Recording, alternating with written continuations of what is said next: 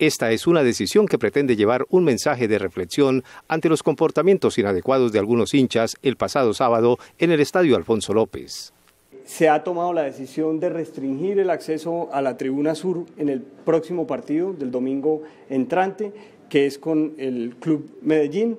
Eh, no se podrá acceder a la tribuna sur, que fue donde sucedieron estos hechos que lamentamos. Ahora, las barras de Bucaramanga vienen en un proceso de transformación, de progreso social, de progreso cultural que hay que reconocer, respetar y reivindicar. Y en ese sentido vamos a utilizar esa tribuna para dar un mensaje de paz, un mensaje de convivencia, un mensaje de promoción del fútbol como un proceso social y cultural que nos debe integrar y unir como ciudadanos. En el próximo partido que disputará como local el equipo Leopardo ante el Independiente Medellín, tampoco se permitirá el ingreso al estadio Alfonso López de elementos como trapos, astas e instrumentos musicales.